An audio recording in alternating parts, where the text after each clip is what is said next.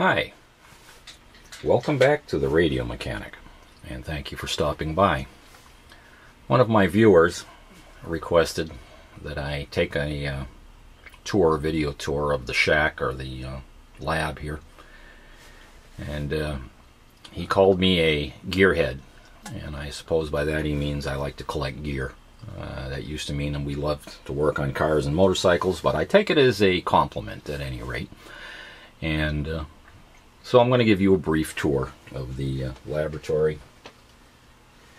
Up here in the top, we have an old solar capacitor tester. Now, anyone who works on antique radios, old tube sets, this is an indispensable piece of equipment. Um, there are various ones out there. EICO made them, Heathkit made them. There's some military grade ones out there that are quite expensive but very nice. And you say, why is that old piece of equipment so important? Well, the old paper capacitors that are in those radios leak. And without fail, you should replace each and every one of them. Now, I've seen some videos where the guys are testing with voltmeters, and uh, even these voltmeters here, these old Tripletts that had a 30 volt battery in them, are not high enough voltage to test for the breakdown or leakage in these capacitors. I, without fail, just replace every paper cap in there. Now, I will go in and test the mica capacitors, the ones that look like dominoes. 90% of the time, they're fine. But if they're leaking, you can test them at their actual operating voltage. There's a knob here that allows you to increase the voltage and test for leakage and find out once and for all. Why should you change them? It'll affect the biasing on the next stage. You could burn up an IF coil. There's many reasons. Won't go into it. A lot of videos out there covering that. Off to the right of that is an old homemade noise figure meter that I made 20 years ago probably and uh, that's been replaced by a Hewlett Packard piece of equipment. Down here we have an inductance bridge. This one uh, is Boonton who became or who was purchased by Hewlett Packard. Extremely accurate, a little bit slow to use, but is dead accurate today as it was when it left the factory. I've got uh, inductance standards that show this thing to be within, well within specification, which is, you know, very small percentages. Over here, this is its companion capacitance bridge, and there's many various models of this. Again, an extremely accurate piece of equipment. If you need to know down to the tenth of a picofarad, this will do it. And sitting on top of it is one of my many capacitance standards and a differential probe for the scope. And traveling over here, we have a Krohn-Hite filter. It can be used for high pass, low pass, band pass. This covers from about 20 hertz up to 2 megahertz. And you VLF guys would find this very useful. You can set this to cover, say, a band uh, band pass of 100 to 150 kilohertz, and it will reject everything 60 cycle and everything broadcast above and below it. Very useful. Uh, I can pull NDB beacons out of the noise with this thing like you wouldn't believe. You take a look at the spectrum on a on an SDR radio, and it's nothing but broadcast and noise and interference. Turn this filter on, the beacon comes right up out of the noise.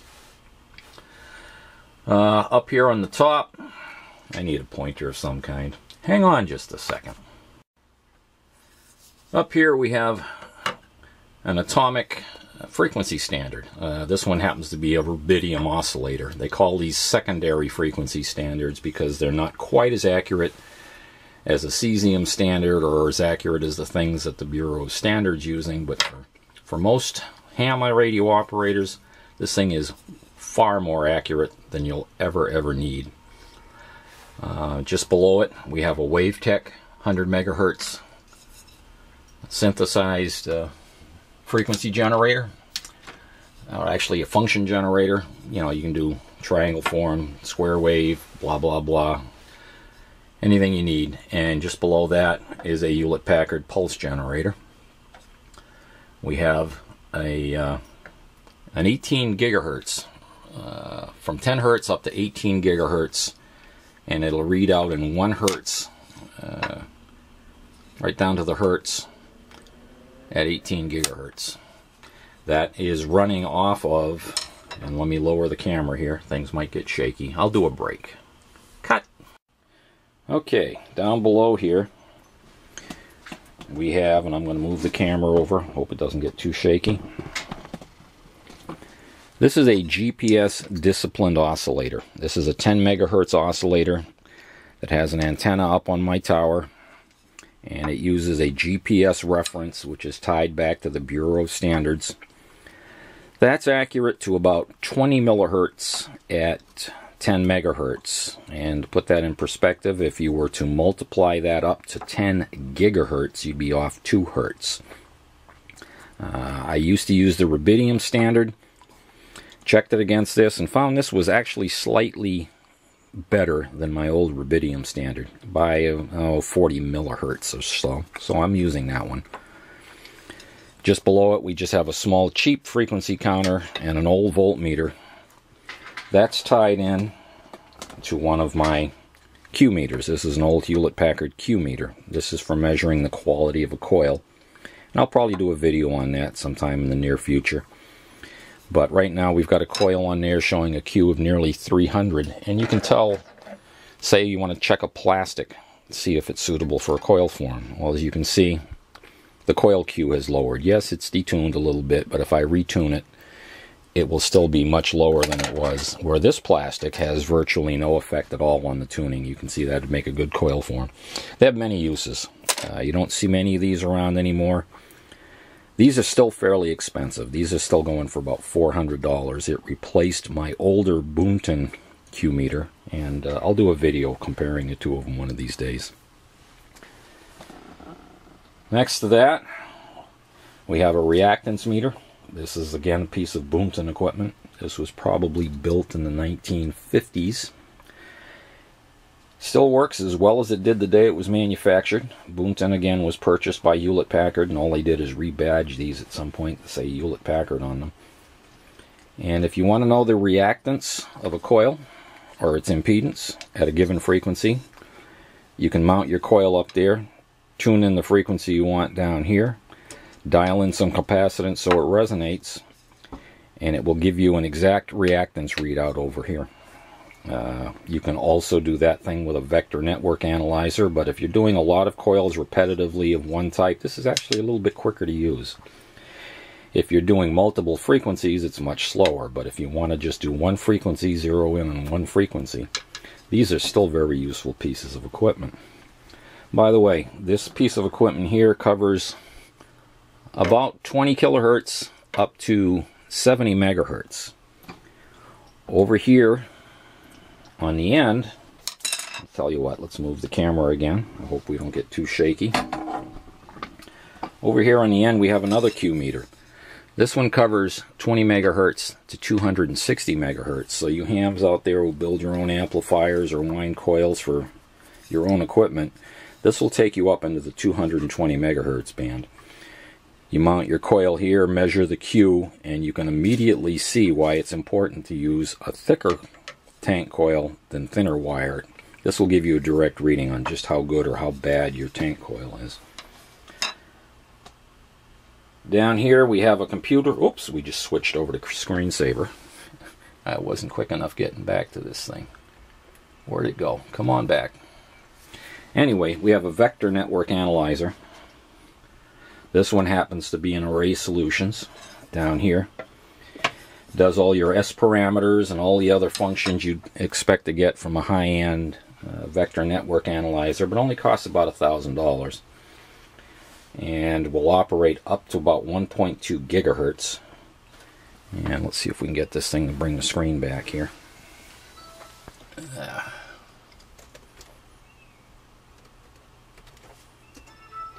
There we go. You've got your impedance, your uh, SWR, your phase angle. There are any number of parameters you can put on this screen. It's just a matter of setting it up differently. I found this extremely useful for tuning duplexers, uh, circular isolators, bandpass filters, what have you. You just connect them in between the two ports and you get all your parameters are displayed. You can save it, print it, so on and so forth. Very, very handy piece of equipment. Uh, let's see, what else have we got? We've got so much stuff in here. I'm going to break this and move over to the other bench. Okay, over here we have a 1 gigahertz bandwidth LeCroy scope, four channels. And sitting on top of it is a monitor that feeds off the VGA output of this guy so you can blow the screen up and see it more easily from across the room. Uh, I also have one of the active 1 gigahertz probes for this. If you price these things, it'll make you swallow your tongue, so I only got one of those.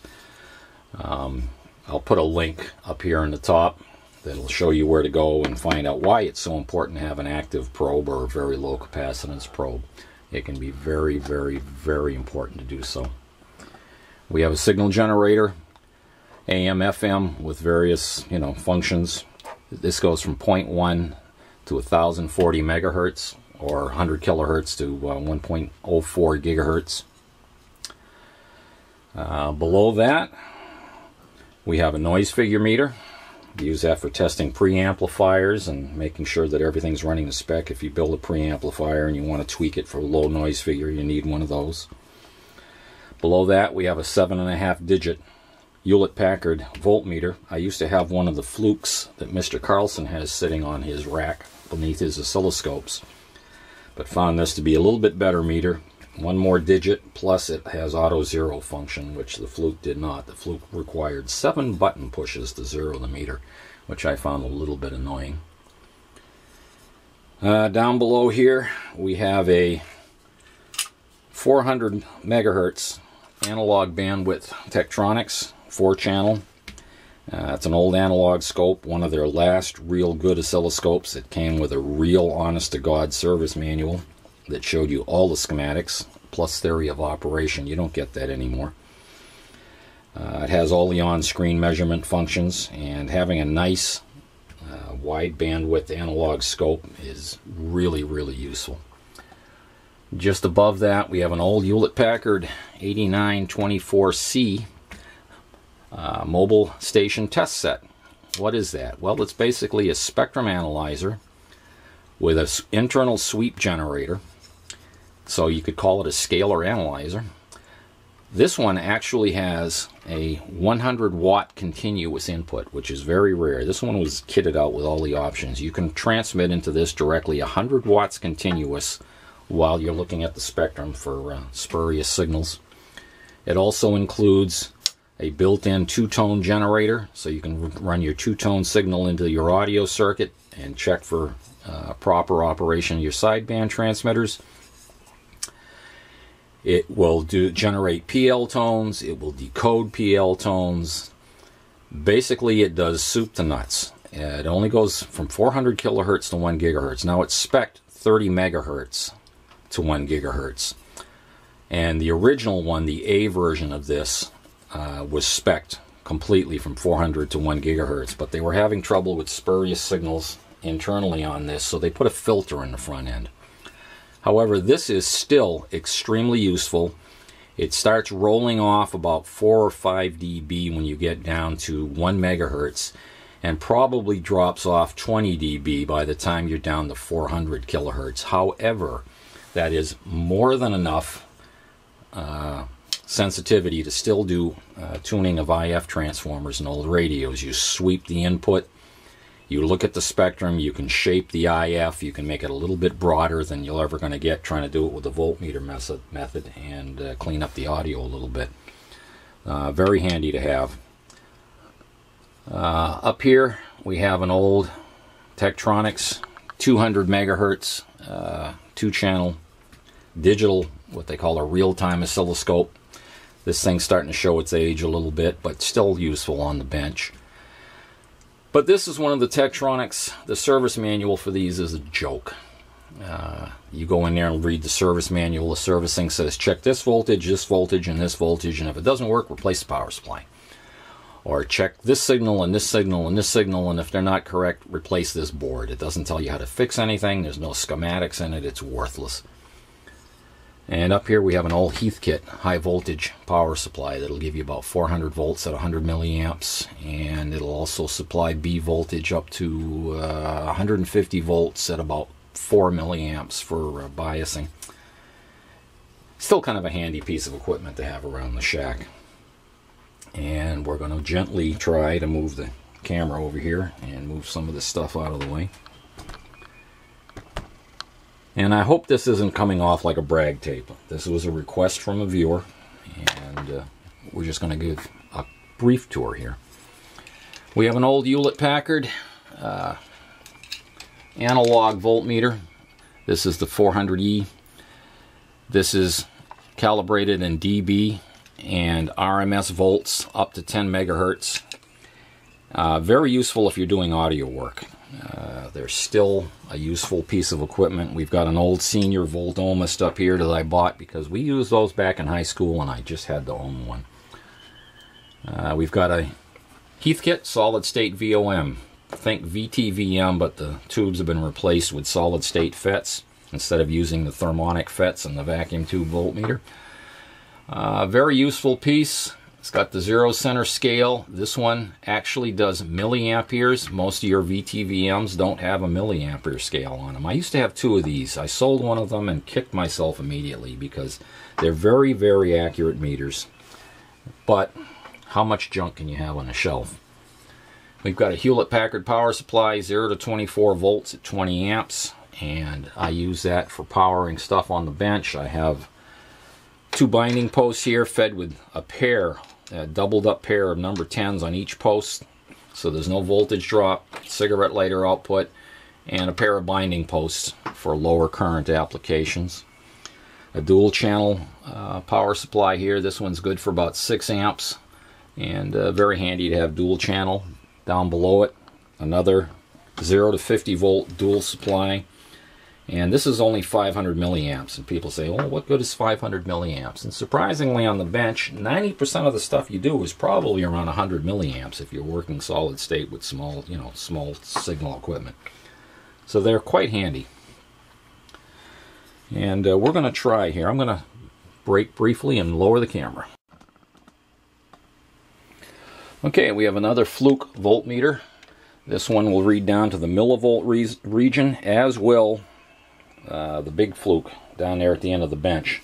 They are not millivolt, excuse me, microvolt region, not millivolt, microvolt. So let's read down to the microvolt. That has one microvolt resolution, and uh, that can come in handy. They are also 10 gigohm impedance.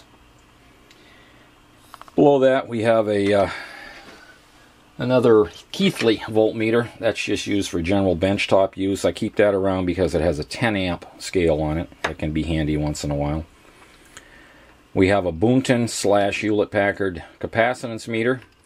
And uh, when you pick up those bargain ba bags of uh, capacitors at the flea market and you want to sort through them real quickly or if you want to match two small value capacitors, you can do it very quickly with that guy. Very handy to have around. We have a uh, an attenuator, 150 watt, up to 6 gigahertz. Put the signal in, signal comes out. With This is 20 dB of attenuation. This adds another 20 dB of attenuation for 40 dB. And that way I can feed that directly into this Hewlett-Packard spectrum analyzer down here. This is an 8594E. It has the uh, sweep tracking generator built into it. This covers up to 3 gigahertz from 9 kilohertz to 3 gigahertz. And probably at some point I'm going to want to get rid of that other Hewlett Packard, but it's going to be hard to get rid of that uh, built-in dummy load and all the functionality. Uh, the, the old one does AM, FM, single side band demodulation. Like I said, it does all the two-tone tests. Pretty hard to get rid of that. It's, it's a nice piece of equipment. We have an old Hewlett Packard distortion analyzer, 334A. I use that if I'm working on somebody's stereo or audio, uh, the audio section of a transmitter. Guarantee that the distortion figure is down where it belongs. It's an older piece of gear, but very useful because it has the auto tracking function. Once you've roughly tuned in the analyzer, you flip it on auto track, and it will null out the last few dB of uh, of noise and give you the true noise figure. And we have another 12 digit frequency counter underneath there. That's a Hewlett Packard unit.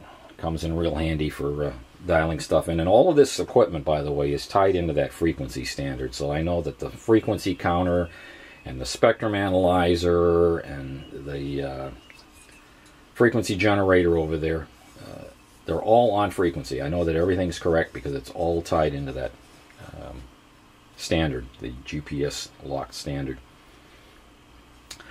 Uh, let's see, what have I missed? Oh, I should probably briefly shut this down. Oh no, I'm not going to do that yet. I'm a little bit disjointed here. I have several of these old Triplett 630 uh, VTVR, VTVMs, VOMs. I have actually nine of these in different models.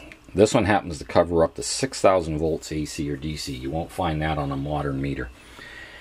Every time somebody says to me, What do you want that old piece of junk for? Don't you have a digital voltmeter? I know immediately I'm talking to somebody who really doesn't know what they're talking about because these are extremely useful and still very relevant today. Um, I'll do a video at some point on why but if you if you know anything about electronics and you know anything about working on say automotive or motorcycle electrical systems, you'll understand why these are still relevant. They are extremely useful pieces of equipment. These Triplett 630s are extremely accurate. I find them much better than the Simpsons. This thing, I can set it on any voltage. I can read any voltage down here and pair it up with either one of my Fluke meters I can dial in a voltage and looking at this I'll set the voltage and look at my high-end digital multimeters and I am within 20 to 50 millivolts unfailingly from one end of the scale to the other. They are just beautiful pieces of equipment. Down here we have my Fluke scope meter and my Fluke handheld multimeter. Those are pieces of equipment that I carried on the road for years and years and years. This thing has bailed my butt out of trouble so many times when I was over in Southeast Asia servicing uh, robotic equipment to be able to go in and find out why something wasn't working properly. The multimeter will only take you so far. When you're trying to find spurious problems, this is the guy you need in your in your kit. Down here on the end, we have an old leader transistor curve tracer. And this is an older piece of equipment, but still very useful. I'll put a link up here for uh, Mr. Carlson's lab. Mr. Car I won't do a review on this because Mr. Carlson does a very nice job of explaining how curve tracers work and why they're useful. He, he has a nice lab. He's got a lot of old equipment and uh, a lot of the stuff I see in his lab I used to have, but over the years I've weeded out the older stuff and brought in newer stuff. I got tired of working on the old oscilloscopes that uh, limited bandwidth and you know you're constantly in there replacing stuff so. They're oh that's not true. They're not that unreliable but they just you know switches begin to get noisy and stuff starts to get go into a failure mode. So I've moved on. But I I really really appreciate that someone like him takes uh, such care of that old equipment. It's nice to see. Anyway if you're working on amplifiers whether they're RF or audio. Uh-oh, my heating system is about to turn on. I'm going to stop this until the, the, the furnace shuts off because it's going to make a racket. Okay, the heating system is shut down. I'm up here in New Hampshire and it is snowing today.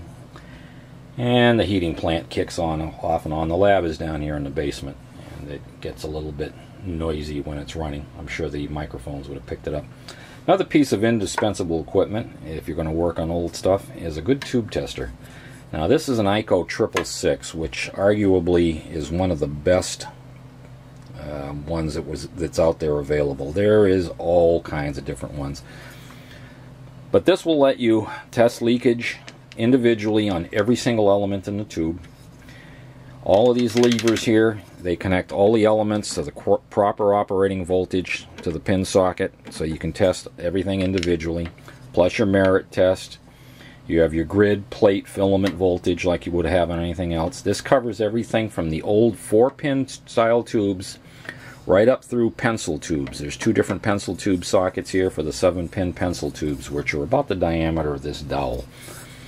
And uh, it has a lamp tester. It also has a rudimentary transistor tester for PN, PN, PN, and it'll test the beta figures on those. This was built sometime in the 50s. This belonged to my father and came to me. The manual has no zip codes in it, which means it's probably pre 1950 sometime. I don't know the exact date. I do know that I've had several tube testers over the years, and this has been the best one I've ever had my hands on.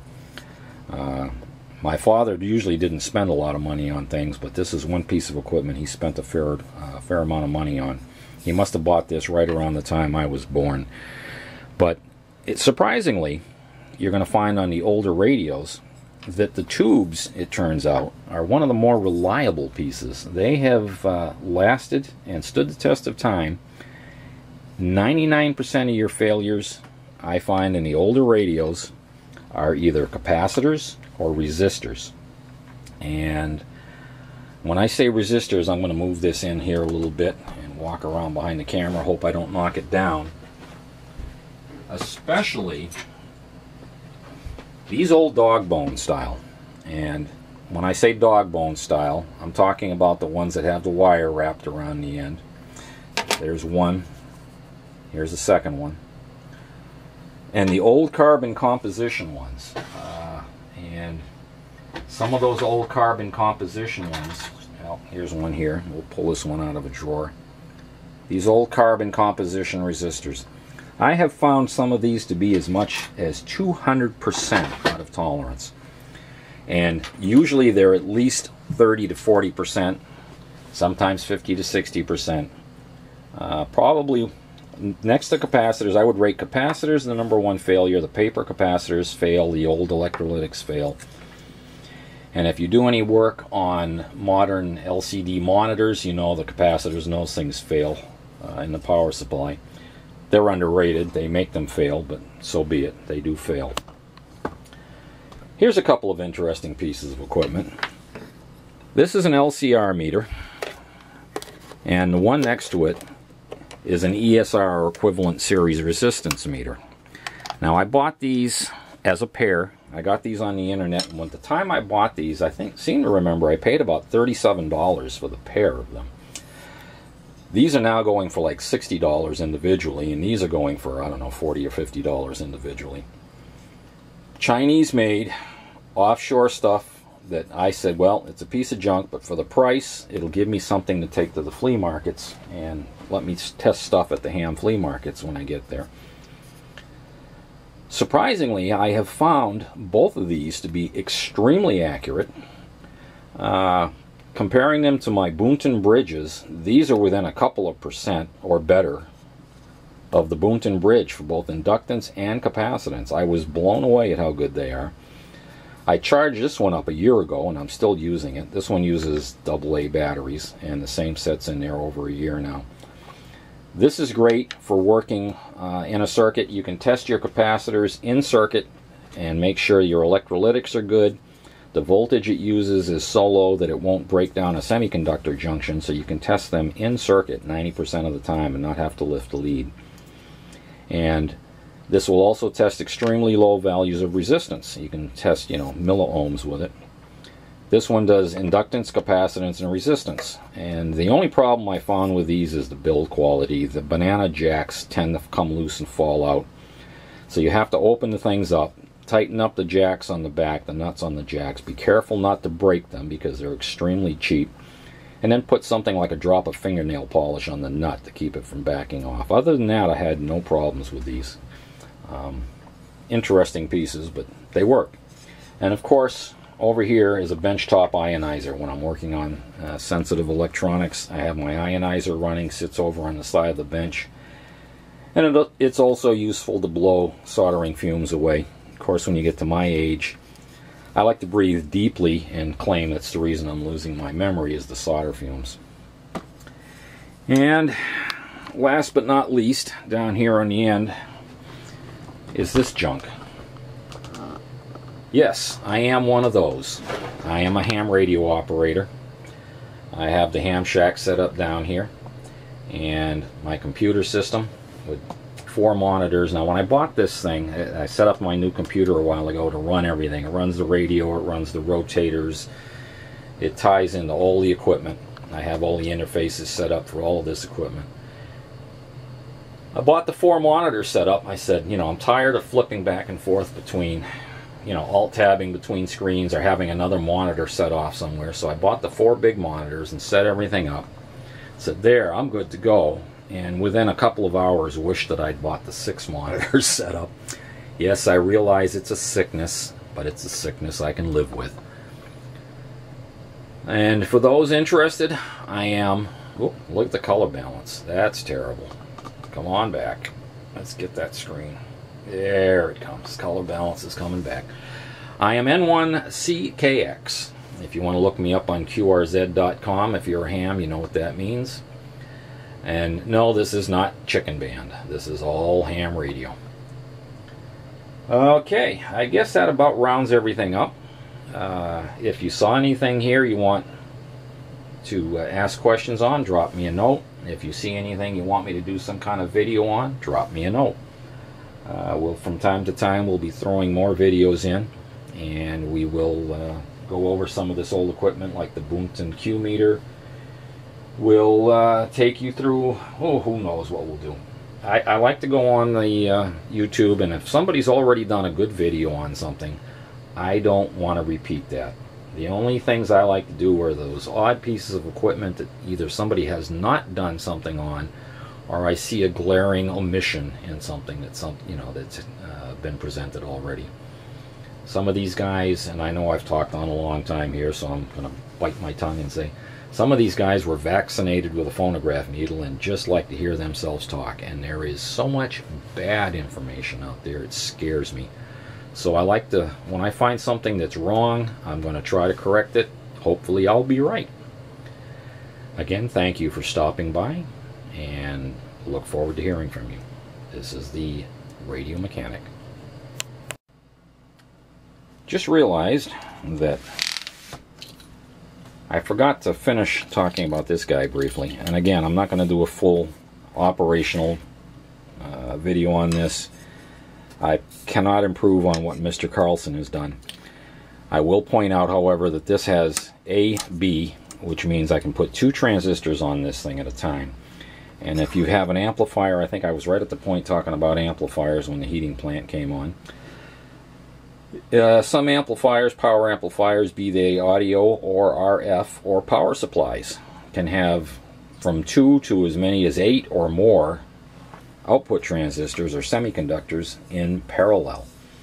And if you're working on that type of equipment and replacing a bad transistor, it's a good idea to match them, match the characteristics of the transistor you're installing to the ones that are in there so you don't have one transistor hogging all the current and being able to hook up a reference transistor here and go through your stock of uh, replacement transistors there, you can very quickly do A-B comparison and it saves a lot of time uh, matching transistors.